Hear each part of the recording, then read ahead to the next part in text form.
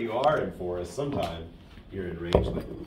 And, and even though we don't have rangelands here, because it's such a significant percentage um, of our land in the United States and especially of our public land in the West, I, I, I felt it's worthwhile to, to take to take one lecture to devote to it. Okay, so a little bit about rangelands. Um, well, a plant community dominated by grasses, forbs, and shrubs is a pretty broad definition. We can think of, we, you could almost argue that, well, isn't that a grassland? Um, grasslands usually are not shrub dominated, so you could argue that rangelands include grasslands. Well, we have grasslands, savanna in the eastern United States, you could argue that we kind of have rangelands here, but for whatever reason, we think of, of the western grasslands as rangelands and, and not the eastern. Okay, it's about a third of the land area um, of the U.S. It's, it's over half of the western land area of the United States. About two third, two thirds of it is is in the private sector, and a third of it is public land, which is a bunch, uh, uh, a lot and that, that, that public land is mostly Forest Service and the Bureau of Land Management. And um, a little bit of the National Park Service, but, but uh, uh, the BLM and the Forest Service are managed uh, under the authority of the Multiple Use and Sustained Yield Act, which means they are required to allow uh, whatever resources can be sustainably used to be used. And that includes grazing and mining, right? Uh, so, so rangelands are, uh, public land rangelands in the West are, are used for those. Globally, it's about half of the land area of the United States. So, so it's big, there's a lot. Here they are in the United States, uh, broken into several different categories. Um, this dark green here is a tall grass prairie, and if you look, that tall grass prairie once upon a time came pretty close to Tennessee. And that tall grass prairie is kind of within the range of the greater prairie chicken, uh, which we think we might have once had in, in Tennessee. Uh, we get in the transitional prairie, the short grass prairie over here. All this purple is a sagebrush uh, dominated prairie. In the, what would you consider this area of the United States right here? Great Basin. Yeah, that's right. That's right. The Great Basin. Yeah. So you've got the Rocky Mountain Cordillera here, right, and the Cascade and Sierra Nevada mountains here. That kind of make that uh, uh, an, an, inland basin called, called the Great Basin.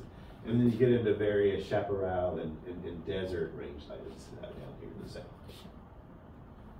In the world, you see they're, they're extensive. Um, uh, we certainly have our share in the United States, but like I said, 50% of the, of the terrestrial land of the, of the world could be considered rangeland. So, so there's, there's a lot of it.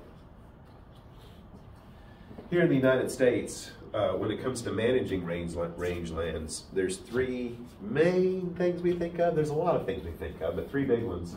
Um, one is, is that we're, we have historically managed our rangelands for livestock grazing.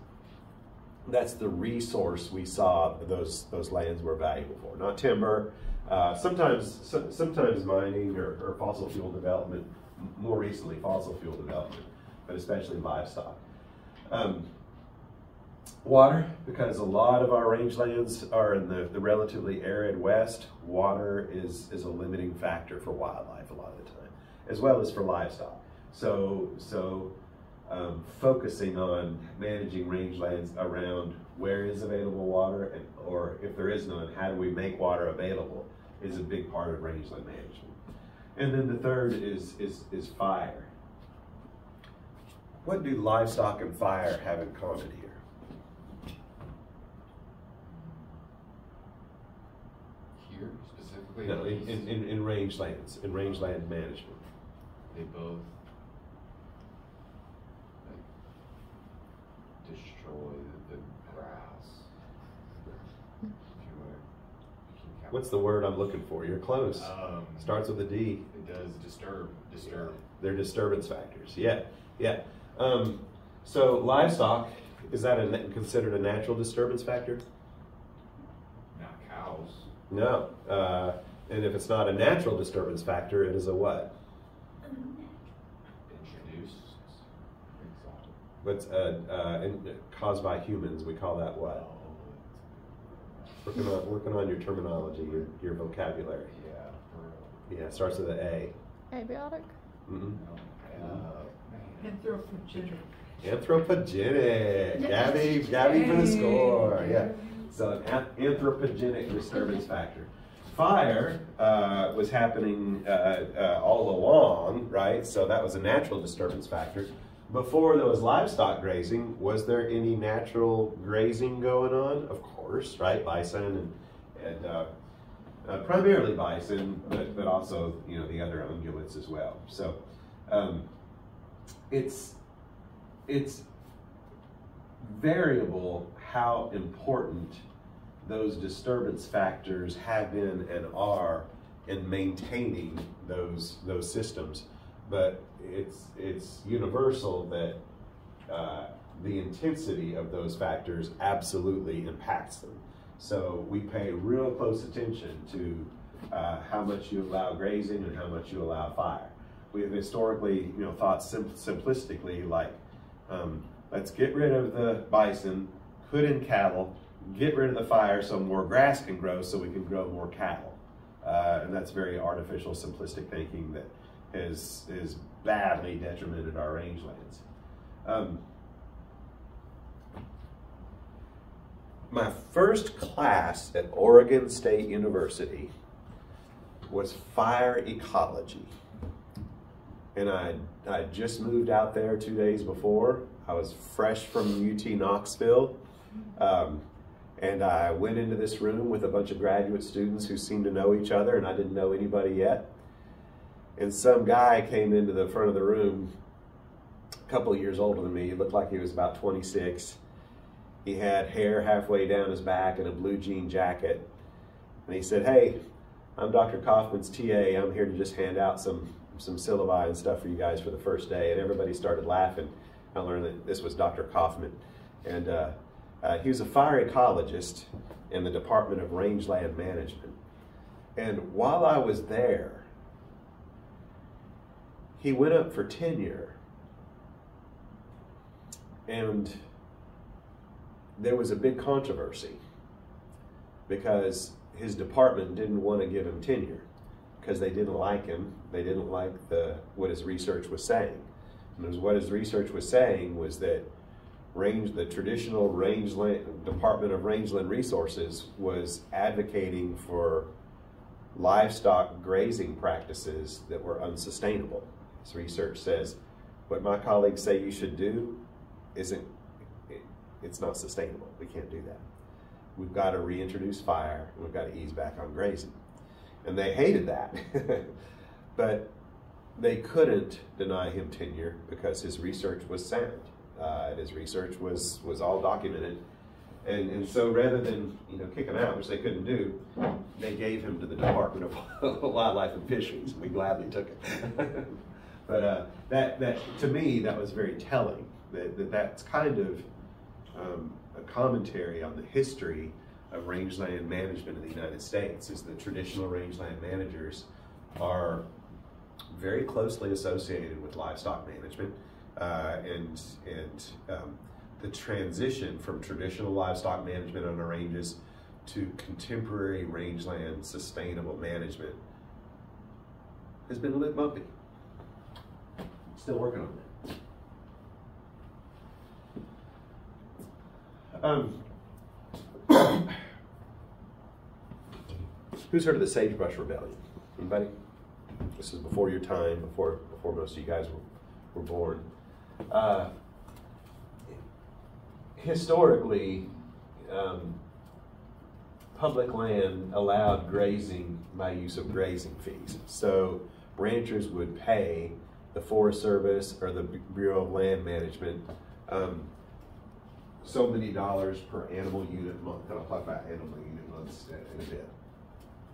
And if on private lands, uh, back in the 1970s and 80s and 90s and early 2000s, if on private lands, uh, uh, grazing fees were like six bucks an AUM, uh, on public lands, often Forest Service and BLM land, uh, grazing fees would often be about a third of that, about $2 per AUM.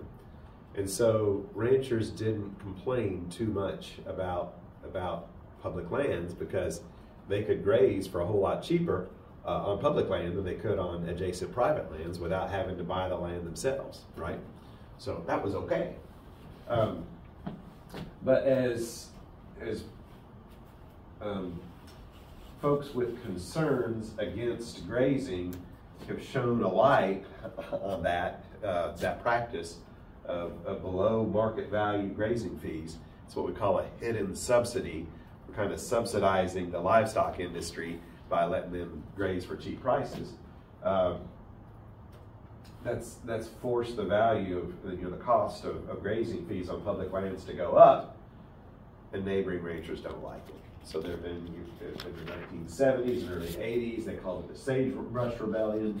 Ranchers saying, we no longer think that the, the government is doing right by buying more and, and, and maintaining public land. That land should be our land. The federal government should sell it uh, and, and, let us buy it and do what we want with it because they're not managing it properly.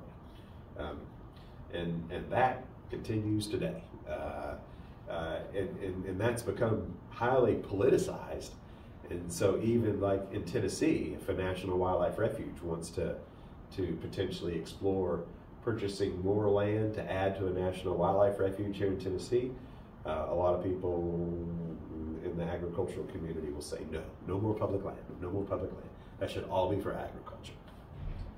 Um, so just as the ranchers uh, uh, and the public land, the private land advocates are, are, are screaming that we need to divest of public land, environmentalists uh, and, and, some ecologists are screaming that we need to divest of, of livestock, or at least some of it. So um, has anybody uh, has anybody heard of or read any stuff by Edward Abbey? You might enjoy it, uh, uh, Gary. Edward Abbey was an American writer. He died several years ago, but he was an American writer that was, um, uh, uh, let's see, how would I describe Edward Abbey? Um, very well respected and awarded uh, American writer. He wrote about um, uh, a few things, including the American West. Um, he wrote a, um, one book called Desert Solitaire about his experiences as a park ranger uh, with the National Park Service in the West. And he wrote a fiction book. Okay, let's be clear, this guy's considered a fringe liberal by, by a lot of folks. He wrote a fiction book called um, The Monkey Wrench Gang. Has anybody heard of that? It was about a bunch of social malcontents who didn't really like urban development out west. So they kind of found each other and went around doing things like burning down billboards and uh, pulling up surveying stakes and pouring sugar in the gas tanks of bulldozers where they were putting in developments and and committing minor acts of, of eco-sabotage, right? Um, but they had, the, the guy in charge was this crazy guy named George Hayduke who had a vision to um, blow up the Hoover Dam. Um, but uh, from that book, that book inspired the formation of the group Earth First. who You heard of. Now those guys are considered eco-terrorists. These are the guys who spike trees and, and you know really cause endangerment to life. And and uh, some people say, you know, yeah, Abbey was was you know an eco-terrorist. Shame on him. And, and Abbey said, no, I never wanted to endanger life. And Earth First, I, I appreciate your your spirit and your thoughts, but I think you might have slightly misconstrued my intent. My book was somewhat symbolic. But, but uh, anyway, um, uh, that that culture, often called the, the BLM, the Bureau of Livestock and Mining, to suggest that um, public rangelands in the West were managed, they were in the pocket of the livestock industry and the mining industry. And that's kind of slowly been changing.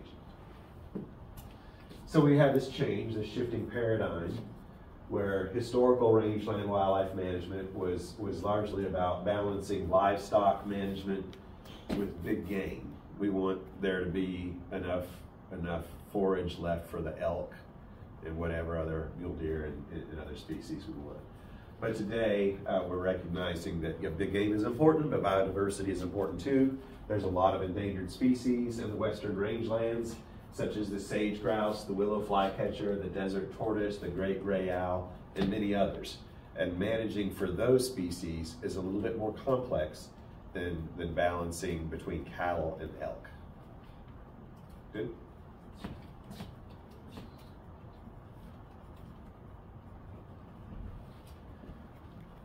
Three big misunderstandings about managing rangelands, managing those grasses. One is that livestock have just simply replaced bison and native ungulates. Uh, those those those ungulates were were natural disturbance factors, and cattle are doing the same thing. How is it different?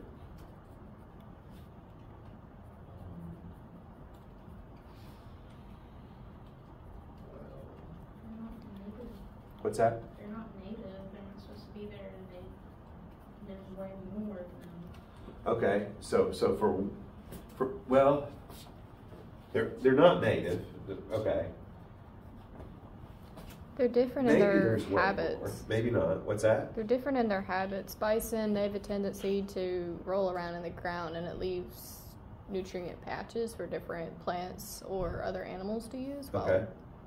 Cows typically don't. Right. So you have bison wallows, so they're different in their behavior and in and in how they graze, and even among even among different species of livestock, there are differences between cattle, horses, sheep, etc.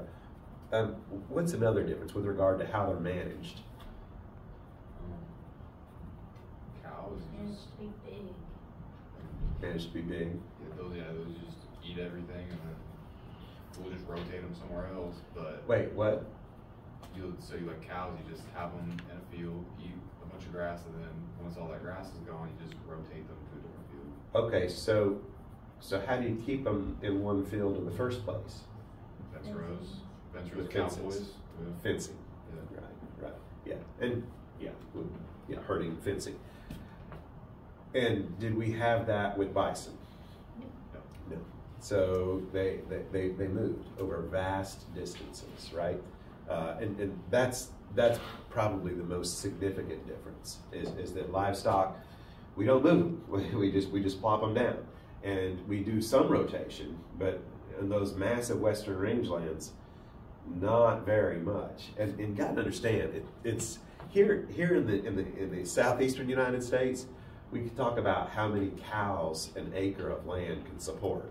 In the western United States, we talk about how many acres uh, it takes to support one cow, li- literally. Um, and so when you hear about massive ranches, it's not always that they have so many more head of livestock than we do in the east. They just need that much more land uh, because the area is much more arid and it just can't produce as much grass to feed as many cows. So uh, yeah, livestock have not just replaced native ungulates; they're they're managed differently. They're held on land, uh, and land's not given an opportunity to recover the, the way usually that it was. The historical rule of thumb used to be very simply um, uh, take half, leave half. Uh, uh, that's there's beauty and simplicity. Uh, it, it seems fair, you know. We'll we'll take half for humanity, mm, for cattle, and the other half for all the other wildlife. But why is what's the flaw there? Half just for wildlife may not cover all the needs. Okay, what else? How do you measure half? Usually the half taken's got the better resources. Yeah, if we're measuring it in terms of biomass or height or something like that, they're taking the best stuff first, right? And if it's best for cattle, it's best for everything else too, probably. Yeah, yeah. So there's quantity and there's quality, and, and that, that idea of half is a very simplistic thing. Right? And the third, overgrazing can be detected by observing vegetation height. But again, they're not necessarily just just starting at the top and grazing everything down um, across the board. They're taking the good stuff. They're cherry picking, like, like, we all would. So concerns, uh, these are common concerns in, in managing rangelands. Um, uh, is, is riparian rangelands where we have water. Those are especially sensitive. They're, they're especially rich. They're um, easily impacted. Um, water is scarce, so they're going to be in high demand. and therefore they can easily be, be degraded. Um, montane is, it refers to mountainous. So montane meadows or mountain meadows, uh, often uh, near alpine levels, high in the mountains where we have uh, riparian zones. Uh, those meadows can be very delicate. When we moved mountain goats from the Rocky Mountains to um, well, uh, the mountains of, of western Washington State. Uh, help me out. What's that? Cascade? No, western. Oh, The, Western. yeah, the, yeah, not the Coast Range, but the. No, I'm, I'm, I'm, I'm gonna come back to it. in a minute. Um, uh, to, to those mountains in, in, nor- in northwestern Washington State, uh, those mountain, those montane meadows were not adapted to to, uh, to mountain goats, and um, uh, it was not the same species of vegetation, uh, and, and they could not withstand that that grazing. Even though well, we thought of was native species, that was native to North America, not to not to those mountains. Um, sagebrush steppe, uh, which is large, flat, unforested grasslands, uh, have been heavily impacted. This is um, what a lot of the Central Basin looks like, uh, and, and this is home to the sage grouse. And sage grouse are called sage grouse because they live in um, uh, these sagebrush ecosystems. And in the winter, when there's nothing else to eat, they eat sagebrush. It's very low quality food, but there's a whole lot of it, and they get by. They don't get by well, but they get by. And in the summer, they eat everything that gets them back into good shape again, like a lot of grouse do, which is all of the forbs and the invertebrates in those forbs. When we put cattle on these sagebrush habitats, what do they eat? They eat all the grasses and forbs, everything that you know that those sage grouse and, and native wildlife are, are adapted to. So we've highly degraded, overgrazed the quality of those sage of those sagebrush systems. Um, deserts, uh, you know, we, we've often thought of those as as uh, not particularly valuable, not particularly sensitive, as arid places where there's no life. But we've, we've learned in recent decades, oh, no, there's a tremendous amount of diversity there, and, and it is sensitive, and we have to be very careful, especially where we have water in the desert. Um, aspen, uh, uh, aspen forests, where aspens are integrated into, into grassland systems, those are very uh, rich, um, productive uh, places that can be overgrazed as well. So, like I said before, uh, in, in livestock management, um, we, we measure numbers of livestock or stocking, stocking rate uh, as an animal unit month or an AUM. Who's familiar with that? Who's heard that before? It's new to all of you? Okay, good to know. Um, so, one animal unit is a mature cow with a calf or something equivalent. So, a cow and a calf unit. Okay? Uh, so, one animal unit month is one animal unit grazed for one month. And so, uh, rangeland managers talk about, uh, you know, how many AUMs they, their, their, this area can, can support. How we doing? I will put this on canvas if I go too fast for it, okay? So things we think about when it comes to managing livestock on rangelands is um, how many, uh, of course, um, how long to, to let them be on the rangeland, uh, and when to let them be on different rangelands. So when I was uh, working on my PhD in Oregon, I worked I worked in the mountains of northeastern Oregon, the Wallowa Mountains, and um, it was it was right here in the northeastern corner of the state. You could see you could see Idaho from my tent, and, and I was about about ten miles from Washington State, right there in the corner. And um, there's the ridge tops were were land owned by the Wallowa Whitman National Forest, and the valley bottoms were owned by ranchers. And uh, the ranchers owned the land in the, in the in the bottoms, but they grazed their livestock on the national forest. Um, so in the wintertime, they would bring their, their livestock down to their own properties and they would feed them hay through the through the winter. Uh, and in the summertime, they would push them back up onto the on, onto the public land. And uh, there were two ranchers that, that lived near me, and every now and then they would help me with my research for fun, and I would help them with their ranching. And uh, so I got they they, they let me uh, help move the cattle up onto the uh, back down to the winter range once at the, at the end of the summer. They uh, they they made me ride a mule. Um, her name was Sue, uh, and I teased my wife about that because my wife's name is Suzanne, and and uh, she didn't like that very much. But and that doesn't have anything to do with anything, but it was a it, it, it was it was an eye-opening experience for me.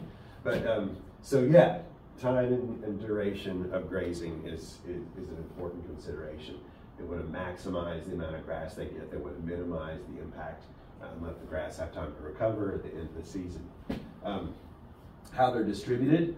Do we let them clump up around water, or do we do we push them out so that they're eating the other grass away from the water too? Uh, how do we deal with that? Do we need to use more fencing, which is more expensive and time consuming, or or, or use use herding, uh, or, or, or what do we do?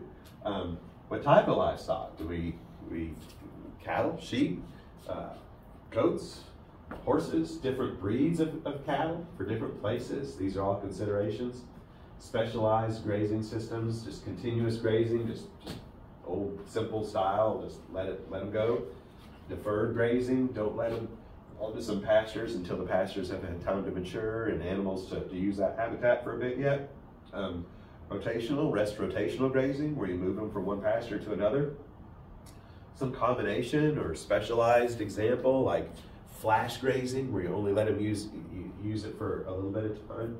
Um, is was anybody in wildlife biopolitics when uh, when Baron Crawford talked about um, grazing management on the Charles M. Russell National Wildlife Refuge in Montana? Getting a bunch of blank looks. Okay, maybe not. Um, what's that? I haven't taken the class yet. Yeah, class. Yeah, okay, all right. Um, well, I might have him back, and he might talk about that. But uh, yeah, the Charles M. Russell is the largest uh, national wildlife refuge in the lower 48 states um, here in, Montana. It's, it's, it's, it's, huge. And um, it was originally um, uh, created kind of in the early days of the National Wildlife Refuge System to be jointly managed by the Fish and Wildlife Service and the Bureau of Land Management. And, and as a Fish and Wildlife Service uh, refuge, its original goal was to manage for us like a very high number of sharp-tailed grouse. Uh, and, and, the, and it was eventually given over completely to the, Nat- the Fish and Wildlife Service. And, and the grazing contracts that had been awarded to local ranchers for decades and decades, the ranchers just expected to be able to continue to graze. But once it was handed over to the Fish and Wildlife Service, they said, no, you, we're not meeting our, our objectives of, of providing habitat for this many sharp-tailed grouse. So we're going to lower grazing. And over the course of, of a decade or two, they lowered the amount of, of animal unit months grazing contracts dramatically. And the number of sharp-tailed grouse increased uh, dramatically, you know, as the, as the habitat recovered. And it, it was, it was dramatic. So a lot of the time, when you're looking for you know some compromise between still allowing livestock and and allowing for wildlife too, um, it calls for clear communication between the range man, rangeland managers uh, and between the wildlife biologists who might or might not know exactly the same language. So, for example, the biologist might say, "We need." Um, in order to manage for my species, for my sharp-tailed grouse, or my mule deer, or my burrowing owl, or whatever, I need X percent cover, X plant species composition, X vegetation structural conditions, whatever that you know from your research. And the rangeland manager says, okay, um, we can do grazing this many animal unit months this time of the year with this species of livestock and, and, and, and maximize our livestock grazing and still meet your conditions, right? So We just have to know exactly what we need. It's not, it's no longer good enough to say, we need to get those cattle off of there. Or we don't need as many cattle. They're like, well, how many's, how many's too many? you know? And, and, it's, and it's fair enough for the rangeland managers to say, I don't trust you when you say that. I don't trust that you know what you're talking about. But if you say, the species that I'm managing for needs 60% cover, we need, we need to have uh, 40% this, of this species available uh, uh, plant. We need these structural conditions. Okay, we can do that. We can do that. Does that make sense? The best management is adaptive management. It's got it's got research incorporated into it that allows us to come up with these compromises. We've come a long way with fencing too. Um, we can use fencing to include livestock, uh, sorry, to exclude livestock, but uh, research has showed us that uh, uh, a fence that's got two strands of barbed wire above a clean strand of wire uh, uh, is easy for pronghorn to pass through. That has the same thing, but is is um, fortified in the, in the middle, so there's no not flexibility in the middle. Mule deer do just fine with. Uh, uh, move those top two pieces of barbed wire closer together, uh, and, and mountain sheep do just do just fine with it. Um, alternatively, you can you can do other fencing arrangements that keep livestock in and that keep wildlife out, if that's what you want to do. Uh, and we can use different types of, of, of fencing for, for different purposes. And, and um, uh, it's it's uh, it's an eye opener to see the variety of fencing that's used in specialized ways. My study area in Oregon, um, I don't have photos to show you, but imagine rocky, arid, ridge, long ridge tops that would go out for a few miles. Uh, and, and, and on these, these rocky talus slopes, um, every few hundred yards, there would be a spring burbling up out of the ground on, on, the, on the side of the ridge. Uh, and in that spring, there would be um, grasses and forbs, a fair bit of, of, of nice vegetation around it. And a lot of those springs, the Forest Service had, had fenced livestock out in an area maybe the size of this room so that wildlife could, could jump in and, and could use that water. The livestock couldn't. And on the downhill side, uh, there would be a, a catch basin and, and, and a trough uh, so, that, so that water was available for the livestock. Fire mechanical treatments, herbicides are all ways that we have uh, uh, tried to, to, to, manage rangelands. Just as in the east we fight um, invasive exotics, so do they in the west.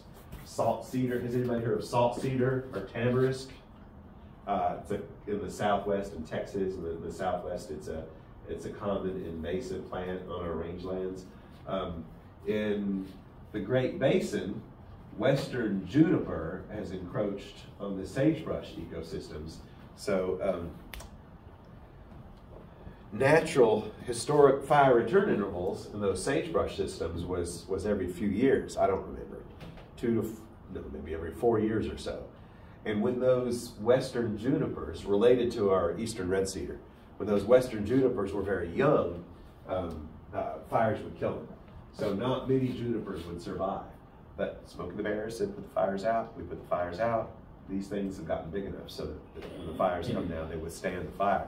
So millions of acres uh, of what was uh, sagebrush with grasses and forbs in the summer have been overtaken by these junipers, which shade out the grasses and forbs and have just destroyed grazing for, for livestock as well as live wildlife. Um, has been a real problem because I mean, you're having to go and cut these trees with chainsaws, and it's it's crazy expensive. Um, so that's that's been a real issue. So fire, fire, fire, and then developing the water uh, resources is, is a huge is a huge part of, of what they do on rangelands. Um, it's there for wildlife. I mean, wildlife's there. Uh, it's always been there. Um, but but uh, we might have to protect it so that it'll continue to be there for wildlife. And if we protect it, we might even increase the carrying capacity for some species of wildlife. So there's springs, like I talked about. There's horizontal wells. There's in the southwest Tinajas natural rock tanks. We can create concrete dams on bedrock and washes called sand dams. Uh, we create reservoirs and small ponds just like we do here. Uh, dugouts or charcos, large earthen catchment basins. Adits, which are blasted uh, uh, tunnels down into the bedrock. Um, uh, what we, we often, what we used to call gallinaceous guzzlers, and that's a term you might still hear, every now and then, which I, I think is kind of a funny term. Um, gallinaceous refers to gallinaceous game birds, chicken-like game birds. So the grouse uh, and turkeys and, and quail uh, would, would, would come to these uh, man, man-made or man-human maintained water developments. Um, we, we now call them wildlife water developments or WWDs. But, but uh, so there's all sorts, all sorts of styles. You can, if, if you Google up gallinaceous guzzler or wildlife water development, you'll see a, a wide variety of how these things are made and maintained in the West. But a lot of the time, they're shaded.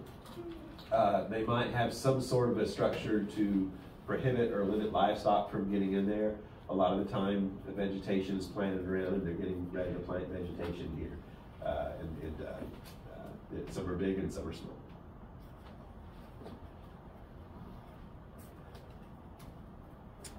Something that's becoming more and more uh, of, of, an issue in, in, recent years on rangelands is, is methane. Um, we, we joke about uh, cow farts or what they really call cow burps, uh, you know, and you know, how much really does that does, does that does that matter? Uh, in 2017, um, uh, Western public land methane production uh, came, uh, or not Western, U.S. public land methane production, no, not public land, U.S. methane production came 16% from oil and gas extraction, 21% from landfills, 26% from manure, and 28% from enteric fermentation. Calories. You're right? Crazy, right? Uh, so, um, you know, we can make the argument that, well, before there was cows burping, there were bison burping, uh, and there's actually been a tremendous amount of research on how much does, does that really matter. Uh, methane is, is not as common uh, as a greenhouse gas as carbon dioxide, but it's way more powerful. Um, uh, so uh, that's uh, that's a problem. So it's going to be one of the considerations, one of many considerations about future public land, uh, rangeland management is is if we're trying to reduce greenhouse gas emissions, is reducing livestock grazing rates going to be a piece of that puzzle? And it might be, not only for greenhouse gas emissions, but also for, uh, you know, allowing for biodiversity as well. So it's a consideration.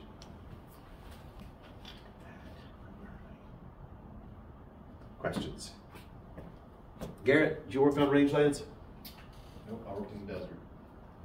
Well, that could be considered rangeland. Yeah, I guess. I, I worked on, it was a marine area where they like training and stuff, but um, yeah, they like contract with Arizona DNR. Very good. Okay. I, I met I met a guy. He went to Arizona State. His entire major was rangeland management. Yeah, yeah. It's it's the common major in the western states. Yeah. What species did you work with out there? I worked with. His main. I, I mainly worked with like reptiles, so like lizards and snakes, and yep. maybe birds, and then we'd see see a kangaroo mouse every every once in a while. Very cool. Yeah. Geckos, scorpions, tarantulas. Nice. Cool. Okay. Well, like I say, we don't have them around here, but uh, it, it is a, a, significant chunk of our real estate in the U.S., so, so worth understanding at least some basic information about. Fair enough? Good? Any questions? All right. Done early this time.